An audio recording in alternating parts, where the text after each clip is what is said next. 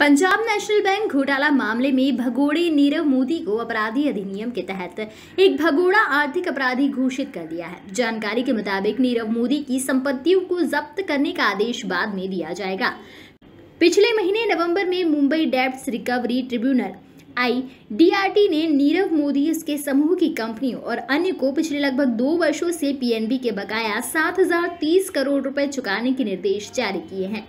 इससे पहले डीआरटीआई ने 22 नवंबर को भी नीरव मोदी को अन्य आरोपों को 30 जून 2018 पूरी राशि पर चौदह दशमलव तीस फ़ीसदी की दर से ब्याज देने के निर्देश जारी किए थे subscribe our channel and press the bell icon for more updates.